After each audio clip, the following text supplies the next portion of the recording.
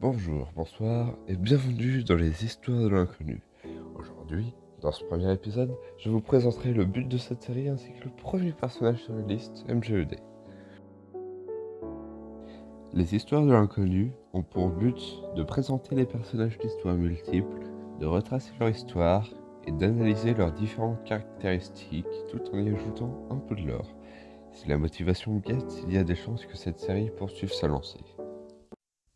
MGED est l'antagoniste principal de cette série. Il mesure 3 mètres de haut et est très fin pour ne pas dire squelettique. Son corps est très allongé, plus particulièrement ses jambes.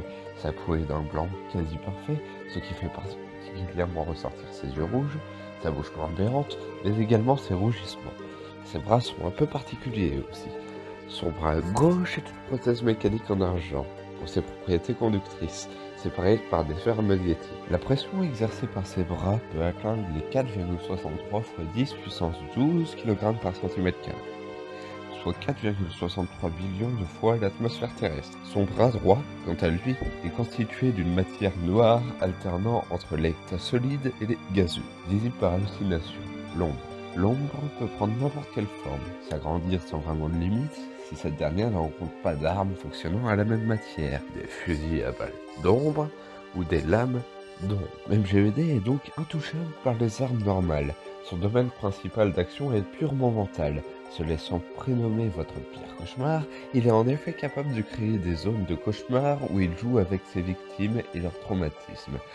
Le seul moyen d'en sortir est de mourir, ce qui n'a aucun effet physique sur la personne réelle, mais cette peur restera gravée à tout jamais dans sa mémoire. MGED a obtenu son nom de Julien Pacrel. Son véritable nom est Edmes. Il a été créé pour tuer Julien Pacrel, qui aurait alors dû être mort. Une fois après sa tâche accomplie, Edmes aurait dû disparaître comme chaque exécuteur créé par l'inconnu, et Julien Pacrel aurait dû devenir un illustrateur. L'histoire ne s'est cependant pas finie comme ça, bizarrement. Julien Pacrel n'est pas mort et Edmes n'a donc pas disparu. Sa soif de sang s'est alors centrée sur le reste des êtres vivants. Il est à ce moment devenu une anomalie dans l'histoire, tuant des peuples entiers et transformant en pantins vivants les Ilgai, détruisant tout sur son passage et formant son armée jusqu'en 2018, où il tombera amoureux du diable en personne, comme ça, et découvrira alors une forme plus furie et un sentiment qui l'effraie. Il deviendra le père de Darisa et restera approximativement inoffensif jusqu'en 2035, où il lancera un assaut final contre l'inconnu et le tuera. Il fusionnera alors avec lui et Nansam, puis détruira et corrompra chaque timeline et chaque univers, à l'aide de ses généraux Ingay qui étaient autrefois ses adversaires lors de la dernière bataille. Il sera plus tard battu transformé en petite furie mouton, puis, encore plus tard, reviendra après avoir installé un poison plongeant l'humanité petit à petit. Nous avons donc vu jusque-là l'histoire de MGUD ainsi que ses capacités et son physique. Mais il reste tout de même quelques points que j'aimerais aborder, notamment son histoire en tant que personnage, c'est-à-dire ses changements de design, sa création, pourquoi il a été créé, ses changements d'histoire. Je pense que ces points-là, bien que maintenant plus très valables dans l'histoire euh, actuelle, sont importants quand même. On peut d'abord noter que la première fois que j'ai créé MGED, il n'avait aucune histoire. Il a été créé vers 2016-2017 et avait pour but à l'origine de servir de skin Minecraft, c'est tout. Il était juste censé être un skin utilisé pour Minecraft. D'ailleurs, on le remarque via le t-shirt TNT qu'il porte toujours. Et cette trace reste sur lui. Parce que j'étais passionné de Minecraft et plus spécialement de ses explosifs. Euh, on peut voir aussi sur sa première version que d'une, je savais pas bien dessiner, hein, on va pas se mentir, c'est dégueulasse. Euh, mais aussi, il était spécial au niveau des jambes comme des bras. Il n'avait ni les bras ni les jambes qu'il a désormais. C'était plus un espèce de style harlequin. Je... ne sais pas vraiment ce que je... Je sais plus vraiment du moins ce que j'ai voulu faire à cette époque. Mais j'imagine que ça devait avoir un rapport avec Harlequin ou avec un élément externe. Pendant ce temps-là, ce personnage n'était pas encore violent. Il était juste un skin Minecraft. Et c'est assez étonnant tout de même. Parce qu'on est passé d'un simple skin Minecraft à un antagoniste très violent ayant pour but de, tuer la moitié de l'univers. La moitié des univers pour contrôler sur l'autre moitié. Et eh bien justement, nous allons poursuivre sur ce point. La même année de sa création, un peu plus tard, il semblerait que j'ai développé une sorte de violence, je ne sais pas comment c'est arrivé, et ça a... ça s'est ressenti sur ce personnage. Comme vous pouvez le voir avec les photos, mais comme vous pouvez le voir, il n'était... Il commençait à changer. Quelque chose en lui qui, qui faisait qu'il devenait quelqu'un de violent, un personnage de violent. Et c'est là que ça commence. On peut également voir qu'à l'époque déjà, il était représenté comme un personnage avec des grandes capacités et que ses bras commençaient à changer. On avait donc plus les manches harlequins, mais plutôt un espèce de t-shirt manche rouge. On progresse encore dans les images et on voit que d'un coup, ce personnage, toujours censé me représenter, a, bien changé et commence à se retrouver euh, lié au combat grandement lié au combat. Et l'image suivante, vous verrez que quelque chose a changé à partir de ce moment-là. Il a commencé à devenir un peu... un peu effrayant, si je peux dire ça comme ça. Il n'était plus vraiment ce personnage qui combattait juste, ou qui servait juste de skin. Il commençait déjà à avoir des côtés un peu un peu douteux, un peu effrayant si je puis dire. Et je pense que c'est vraiment dans cette image que le début de la colère et de la force d'MGED, qui sont les cauchemars, s'est introduit dans son personnage. Nous continuons donc parmi les anciens, les anciennes images de ce qu'il était, et nous continuons à voir euh, que j'avais toujours pas de grand talent en dessin, n'est-ce pas euh, Mais que à ce point-là, la version de MGED qui existait commençait à non seulement avoir des attitudes un peu étranges, comme nous l'avons vu précédemment à l'image précédente, mais maintenant nous voyons avec ces quelques images qu'il devient fort, très fort. C'était déjà apparent auparavant, mais là ça l'est encore plus. On voit qu'il est qu'il est bien centré sur son personnage, le personnage fort.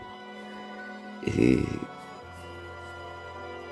à partir de là, nous voyons les pièces s'assembler, tout de même. La force, la peur. C'est ce qui caractérise plus ou moins MGED. Ensuite, avec cette image, nous pouvons commencer à voir qu'MGED n'agit plus en face à face, du moins plus tout le temps. Il peut également agir dans le dos. Et c'est l'une de ses plus grandes forces. Ne pas être vu par son ennemi. Bien qu'une fois vu par son ennemi, désormais il est capable de le défoncer. Mais à cette époque-là, les bases de ce qui serait MGED commençaient déjà à bien se fonder. Même si ce n'était pas encore un personnage distinct, c'était toujours une représentation de, de moi à l'époque. Je pense qu'avec ce dessin, ça doit être à partir de là que quelque chose a changé dans, dans MGUD. Vous l'avez vu, je commençais à découvrir Bendy and the Machine. Et c'est ce qui deviendra euh, bientôt un, point important dans son car design. Bien que nous n'y sommes pas encore, euh, on voit qu'il commence à se tisser un lien entre différents mondes notamment celui de Bundy and the Machine. Et je vous expliquerai plus tard euh, ce qui se trame derrière tout ça. Nous sautons directement à la seconde.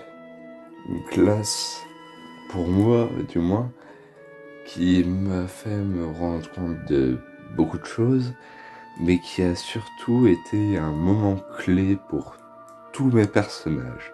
La plupart viennent de là-bas, même s'il y en a qui ont été bien modifiés depuis. Et, ils ont surtout bien changé pendant cette époque. Petite note, euh, il semblerait que je me sois trompé dans ce que j'ai dit. Ce n'est pas mon quel brouillon de seconde, mais celui de troisième. Donc un an auparavant. Il est toujours de 2017, mais je me suis juste trompé dans les, les approximations des, de ce qui était arrivé. Voici donc la première image, en début septembre 2017, je dirais. On voit donc deux changements principaux. Les univers commencent à se tracer entre MGED, Bendy and the Machine, et FNAF. Il gagne donc un bras droit de Bendy et un bras gauche de Bonnie. Me demandez pas quel est le sens derrière tout ça, je n'en sais rien. Dans ce personnage, je me stockais à cette époque et je stockais donc mes points d'intérêt les plus grands. On voit donc euh, quelque chose qui est resté à ce moment-là dans le personnage. Encore une fois, ses bras. Bien qu'ils aient changé pour devenir ce qu'ils sont, ils sont cependant bien proches de ce que nous connaissons. Nous continuons avec ces deux images. Deux images très importantes, car elles marquent, selon moi, la limitation à, partir de laquelle mon personnage, qui est censé me représenter, s'est séparé de MGUD. Vous pouvez voir dans le dessin à gauche un personnage ressemblant fortement à MGUD, si on peut dire ou plutôt à l'inconnu. Et nous avons MGED. Ce que nous montrent donc ces deux images, c'est que l'inconnu et MGED, à cette époque, se sont séparés. Bien qu'à cette époque, l'inconnu que vous voyez à gauche n'est pas vraiment l'inconnu, c'est un autre personnage que nous analyserons d'ailleurs dans l'épisode suivant. Nous arrivons donc à ce dessin qui commence à être déjà bien mieux que ce que je faisais avant, on va pas se mentir. Et on voit tout de suite quelques changements sur le personnage. Quelques changements qui semblent cette fois définitifs. Les bras, dont nous avons parlé au début, semblent s'être installés sur le personnage. Et n'y bougeront pratiquement pas. Je dis pratiquement pas parce que ça changera un peu plus tard. On continue. Ici, c'est le premier dessin où figure une version plus réaliste de MGED. C'est la première fois qu'il apparaît sans être ce, ce, personnage carré. À partir de ce moment, il n'est plus un simple skin, il devient un personnage à part entière. De plus, il semble contrôler à peu près l'univers qui tourne autour de lui et semble créer des erreurs et manipuler déjà. Ce que je veux dire par là, c'est que c'est vraiment avant 2018, avant fin 2018 à peu près, que FGED commence à sortir du lot. Nous continuons dans l'approche des dessins un peu étranges, n'est-ce pas? Et à ce moment-là, nous voyons une claire distinction entre le personnage de le skin et le personnage qui commence à se former. Du moins, quelques changements commencent à apparaître à ce qu'on voit. Le personnage commence à devenir plus... pas plus agressif parce qu'il l'était déjà auparavant, mais semble déjà plus inquiétant que ce qu'il était en skin, en simple skin. Malheureusement, au cours de cette année, ce personnage se verra vite oublié et mis de côté pour préparer un autre personnage qui deviendra alors euh, le personnage principal de ma première histoire. Nous continuons donc avec cette première bande dessinée, si on peut appeler ça comme ça, en trois bulles, où MGED est enfin nommé MGED, et où sa colère est enfin montrée. À ce moment-là, dans l'histoire, il fait office de personnage principal d'Histoire Multiple. Histoire Multiple qui est alors au stade 0. Mais les bases sont déjà là, et lui aussi. Il est alors censé jouer le personnage principal, me représente toujours plus ou moins, mais représente dorénavant une deuxième facette de moi. Ici donc, dans, cette mini BD, nous apprenons l'existence d'une exécution. L'exécution des studios Sweep, qui est un point important dans l'histoire. Dans l'histoire principale, ce petit point est le point déclencheur de, je ne dirais pas la majorité du scénario, mais on n'est pas loin. À cette époque, MGD est donc plus ou moins une sorte de force maléfique, si je puis le dire comme ça, qui agit sur moi en tant que seconde personnalité. C'est plus ou moins le cas désormais, même si ça a bien disparu. Il est cependant petit à petit capable de faire de plus en plus de choses et se détache de plus en plus de mon personnage. Il devient alors une simple malédiction sur les personnes qu'il touche et est capable de les, de les maudire. Mais il n'est pas vraiment capable de prendre de forme physique. Ou du moins, pas efficacement. Nous continuons donc dans l'histoire et à ce moment-là, à ce dessin que vous voyez sur l'écran, il est devenu clair que quelque chose se trame avec ce personnage, qu'il n'est qu'il est un antagoniste en soi de l'histoire. On voit bien qu'il a une réalité qu'il veut créer. Une réalité sombre, une réalité où il est le seul maître et où il est capable de tuer. Premier dessin important d'MGV. Si je peux dire ça comme ça. Ici, nous avons une séparation claire entre deux personnages. MGED d'un côté, comme vous pouvez le voir, il n'a pas vraiment ses bras mécaniques, et ça depuis quelques dessins. J'avais abandonné cette idée, puis je l'ai repris plus tard. MGED qui a donc sur cette euh, image un pantalon avec un motif enfin régulier et des sabots, ainsi qu'une lame dans la main, une lame noire, tandis que de l'autre côté nous pouvons voir un autre personnage, un habit gris, ou du moins sombre. Ce personnage, c'est ce qui deviendra Julien Pacrel un personnage qui alors à cette époque me représente.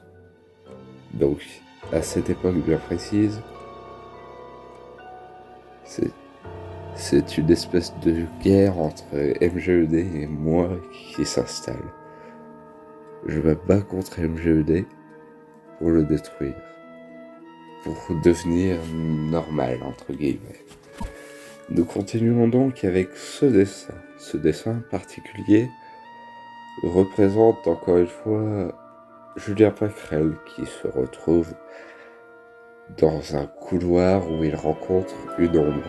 Cette ombre, à l'origine, est MGED. En quelque sorte, c'est son reflet qu'il voit, son ombre. Mais son ombre qui n'est pas rattachée à lui, une ombre imprimée dans le mur, vivante, qui, qui veut l'attraper. Cette image est elle aussi importante parce que elle représente l'une des capacités de LGED, celle de pouvoir se déplacer en tant qu'ombre sur toutes les surfaces. À ce moment-là, il n'est plus touchable. Mais il n'est cependant pas capable de toucher les autres non plus. C'est donc une position de défense pour lui.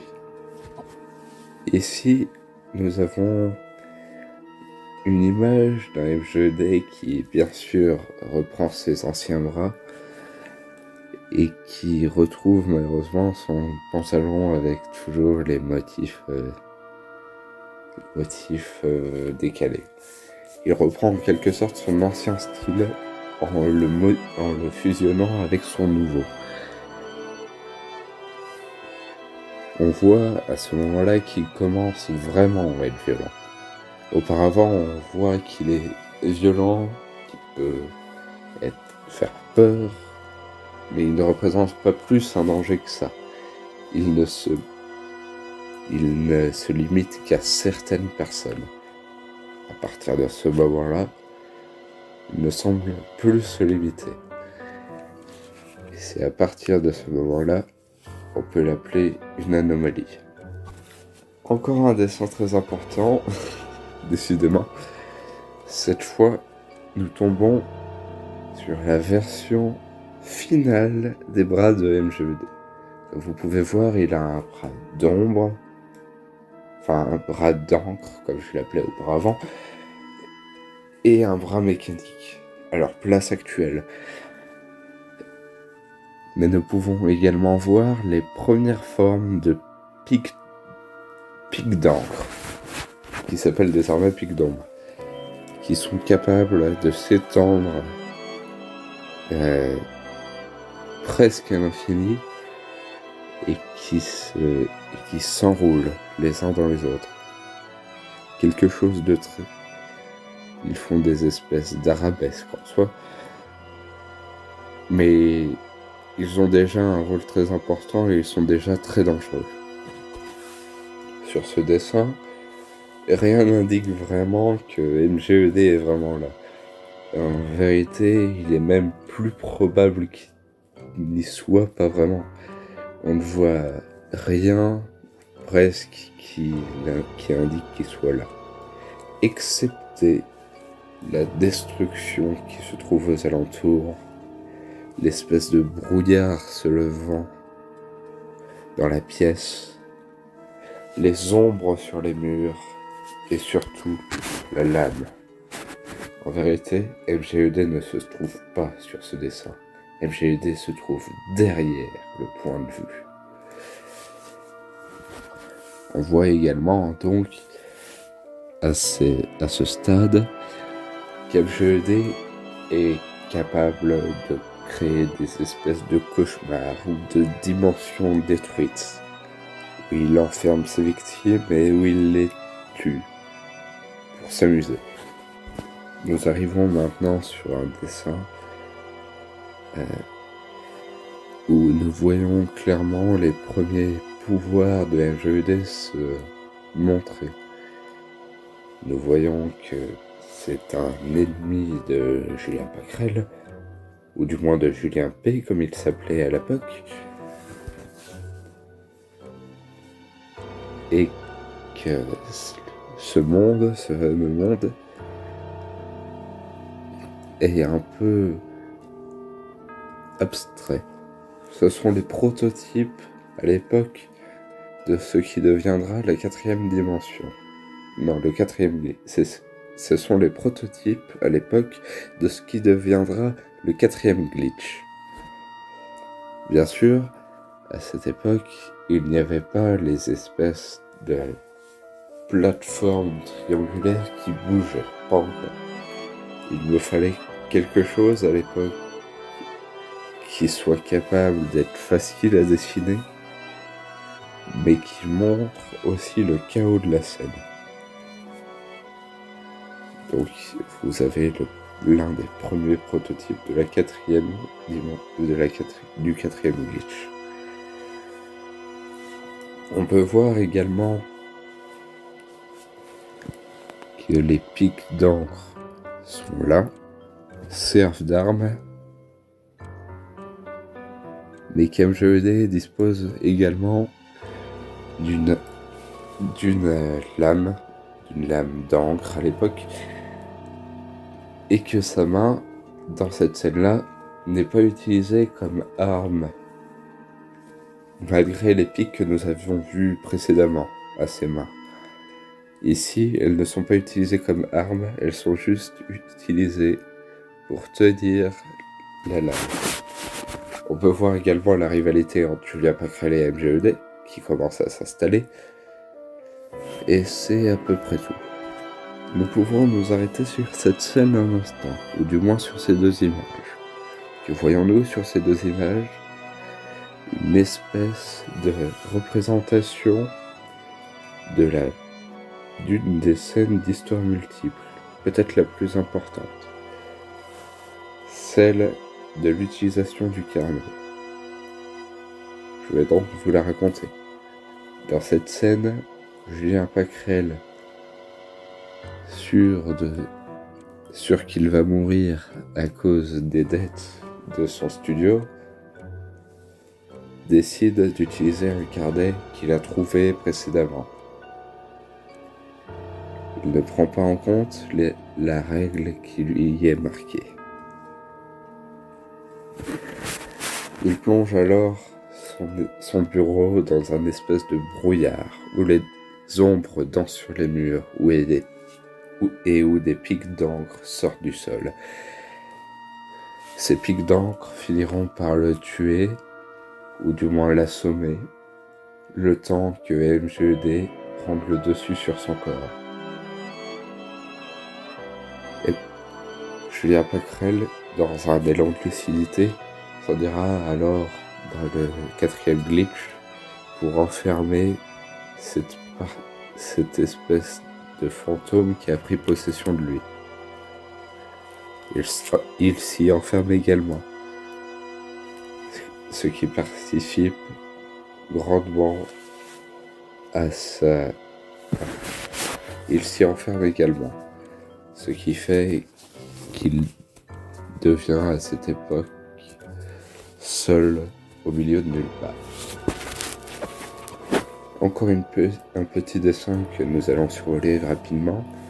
On peut voir que le pantalon de MGD a enfin trouvé ses couleurs consistantes que nous savons désormais, mais également on peut voir par la fenêtre des pics d'encre, un peu plus importants et un peu plus, un peu plus visibles qu'auparavant. Sur ce dessin, nous pouvons voir un autre design d'MGED qui n'a encore jamais été utilisé et qui le sera peut-être un jour si j'y arrive. Sur ces deux dessins, nous pouvons voir les morts d'Itakuni et de Raven qui ont été explicitement indiqués dans la vidéo qui est parue juste avant celle-là. Puis nous pouvons enfin voir la partie à partir de laquelle j'ai commencé à m'intéresser à comment fonctionnait exactement MGMD. J'ai voulu, à partir de ce moment-là, comprendre comment créer MGED, ou du moins comment le dessiner en fonction principalement de son bras. Son bras devait être fonctionnel en robotique, ou du moins être capable de bouger dans la théorie.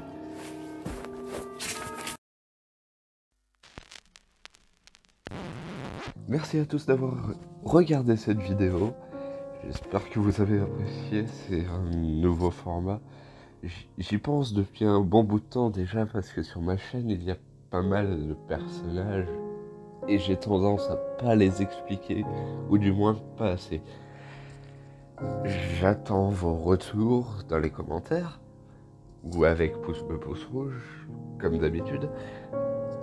Euh, euh, sachant que je ne suis pas vraiment bon en euh, je ne suis pas vraiment bon pour m'exprimer, disons ça comme ça.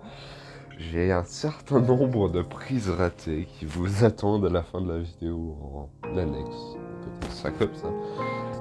Bref, à la prochaine. À la prochaine. J'ai encore du boulot à faire. Hein.